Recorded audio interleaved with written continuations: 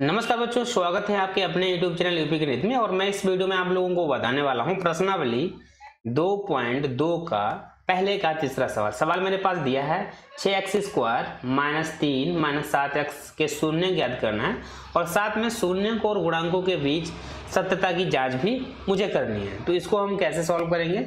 सबसे पहले मेरे पास जो प्रश्न दिया है, इसको मैंने लिख लिया। इसे हम सही रूप में लिख देंगे बच्चों। मेरे पास यहाँ लिखा है, ये लिखा है छ एक्स स्क्वायर माइनस का सात एक्स माइनस का तीन। अब क्या करना, इसके बाद में छः और तीन की गुणा कर देंगे तो छः तीन हमारा अठारह हो जाएगा। अठारह के ऐसे मुझे गुणनखंड करने हैं। मेरे पास कितना आया बच्चों? अठारह आया। अठारह के ऐसे फैक्टर करने हैं कि अगर उन दोनों को आपस में घटा देंगे तो दो आएगा। घटाएँगे क्यों? क्योंकि यहाँ पर माइनस लगा है। अगर माइनस यहाँ पर लगा है तो घटाने पर ये भैया सात लाने हैं। अठारह के ऐसे गुणनखंड करने हैं कि घटाने पर कितना आ जाए? सात। दो से काटेंगे, दो नेम अठारह तो फैक्टर हो जाएँगे दो माइनस का सॉरी नौ माइनस का दो। तो नौ में से दो जाएँगे, सात बचेगा। अगर इन नौ की दो से मल्टीप्लाई कर देंगे तो बच्चों कितना आ जाएगा? अठारह आ जाएगा। यही मुझे लाना है। तो मुझे क्या कर देना है? जहाँ छः एक्स स्क्वायर जहाँ सात दिया है, इसके जगह आप लिखेंगे नौ माइनस का दो इंटू एक्स माइनस का थ्री अगले स्टेप में बच्चों करना है छः एक्स स्क्वायर सेम लिखेंगे। नौ की एक्स से गुणा कर देंगे तो नौ एक्स हो जाएगा। ए वाला नौ, ए माइनस माइनस हमारा क्या हो जाएगा? प्लस तो हमारा दो एक्स हो जाएगा और माइनस का तीन। अब मुझे क्या कर देना इसमें मुझे कामन ढूंढना है। ठीक है? कामन कैसे ढूंढते हैं? कोई ऐसी संख्या होगी, इन दोनों में मिलेगी। यहाँ भी छः में मिलेगी छः एक्स स्क्वायर में और नौ एक्स स्क्वायर में। तो मेरे पास यहाँ पर दिया है तीन और एक्स तीन एक्स छः एक्स स्क्वायर में मिलेगा। तीन का पाड़ा पड़ेंगे तीन दूना छः एक्स यहाँ दो थे तो एक निकल गया, तुम्हारा खाली एक्स बचेगा।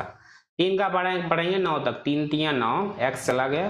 प्लस यहाँ कुछ कामन नहीं तो वन होता है। जब किसी संख्या में कोई भी संख्या कामन ना हो तो वहाँ पर हमें वन ले लेना। है अब इसमें मुझे क्या कामन दिख रहा है? तो यहाँ टू एक्स माइनस थ्री यहाँ भी दिया टू एक्स माइनस थ्री यहाँ भी दिया है। तो मुझे क्या कर देना two X minus three common निकाल देंगे। ये यह यहाँ से टू एक्स माइनस थ्री जब निकल गया तो यहाँ क्या बचेगा? थ्री एक्स बचेगा। थ्री एक्स यहाँ से टू एक्स माइनस थ्री निकल गया तो यहाँ कितना बचा? प्लस वन बचा। अब मुझे क्या कर देना, शून्य ज्ञात करने थे, इसलिए मुझे ज़ीरो के बराबर कर देना। तो हम क्या करेंगे, पहले मेरे पास था टू एक्स माइनस थ्री बराबर ज़ीरो।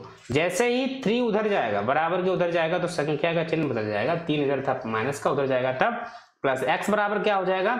तीन बटे दो। दो इसके, जिसका मान निकाल एक्स का मान निकालना एक्स के साथ में गुणे में था, इसलिए एक्स कि जो जब मान निकालेंगे बटे में आ जाएगा। तो एक्स का मान क्या हो जाएगा? तीन बटे दो हो जाएगा। ठीक है बच्चों, इसी तरीके से हमारा कितना है?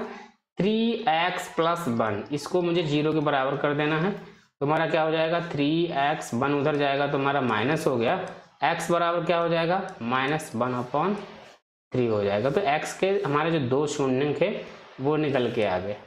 अब बात बची है शून्य तथा गुणांकों के बीच में मुझे संबंध ज्ञात करना है। तो संबंध कैसे निकालते हैं? देखिए, ध्यान से आपको समझना है। सत्यता की जाँच करना तो मेरे पास जो प्रश्न दिया है, पहले तो इसकी मुझे इसे सही रूप में मैंने लिख लिया था, एक बार फिर से करेंगे। लिखेंगे six x square minus seven x minus three ये मेरे पास सही रूप है और इसकी हम तुलना कर देंगे a x square plus b s b x plus c बराबर सी से, ठीक है? मुझे ए का मान इसमें क्या है भैया? एक्स स्क्वायर के जो होता है आगे, वो ए का मान होता है। तो सवाल में एक्स स्क्वायर के आगे कितना दिया है? छः। तो ए का मान छः हो गया। खाली एक्स के आगे बी का मान होता है तो इस सवाल में एक्स के आगे कितना दिया है? बी का मान माइनस का बच्चों सात हो जाएगा, जिसमें कुछ भी एक्स बाय कुछ ना हो, वो हमारा सी का मान है सी बराबर थ्री ठीक है? एक मेरे पास फार्मूला होता है मूलों का योगफल मतलब अल्फ़ा प्लस बीटा। क्योंकि पहला जो शून्यंक होता है, उसे अल्फ़ा से लिखा जाता है, जो दूसरा शून्यंक है, वो कैसे लिखा जाता है बच्चों? बीटा से। तो मैंने यहाँ पिछले प्रश्न में मैंने देखी, यहाँ पर जो लगाए हुए हैं सवाल तो इसमें देखिए जो मैंने शून्य का आया था, x बराबर तीन बटे दो। तो ये बच्चों अल्फ़ा का मान, जो पहला शून्य होता है, वो अल्फ़ा से लिखा जाता है। तो अल्फ़ा का मान तीन बटे दो हो गया, और जहाँ बीटा दूसरा शून्य था, वो बीटा से लिखेंगे। बीटा का मान एक बटा तीन हो गया, ठीक है? यही मान मुझे क्या कर देना है? इसमें पुट कर देना जहाँ अल्फ़ा अल्फ़ा प्लस बीटा, ये हमारा क्या होता है? शून्यकों का योगफल, बराबर फार्मूला होता है। बच्चों, ये सूत्र है, इसको याद करना पड़ेगा आपको। अल्फ़ा प्लस बीटा बराबर माइनस बी बटे ए ए फार्मूला है। तो अल्फ़ा का मान मैंने ज्ञात कर दिया। क्या है बच्चों? अल्फ़ा का मान कितना है बच्चों? देखिए ये ए, एक बार देखिए अल्फ़ा का मान दिया है। कितना दिया बच्चों? एक मिनट। अल्फ़ा का मान तीन बटे दो और लिख लेंगे। और बीटा का मान माइनस एक बटा तीन। अल्फ़ा के जगह पर हो जाएगा। अल्फ़ा का मान लिखेंगे तीन बटे दो और बीटा का मान माइनस एक बटा तीन। ये मेरे पास मान निकल के आए हुए थे। अब मुझे क्या कर देना है? इस प्रश्न में मुझे ये मान पुट कर देना है, ठीक है? अल्फ़ा के जगह पर क्या रख देना है? तीन बटे दो कर देंगे, प्लस बीटा के जगह पर माइनस एक बटा तीन कर देंगे, ठीक है? ब्रैकेट लगा देंगे। बी का मान बच्चों कितना दिया है? माइनस का सात, और माइनस यहाँ पहले से लगा है, ब्रैकेट में मान भर देंगे। ए का मान कितना है? छः ठीक है? अब क्या करेंगे? अगले स्टेप में तीन बटे दो प्लस माइनस यहाँ क्या हो जाएगा बच्चों? माइनस एक बटा तीन। यहाँ हो जाएगा सात प्लस का बटे छः। इसके हर कैसे बच्चों? डिफरेंस है। एल्शियम निकालेंगे, छः आएगा। ठीक है? कितना आ गया बच्चों? छः आएगा। तो हम क्या करेंगे? तीन तो ऐसे लिखेंगे और दो का पारा पड़ेंगे छः तक। दो तीन छः। तीन आया तो तीन से मल्टीप्लाई कर देंगे।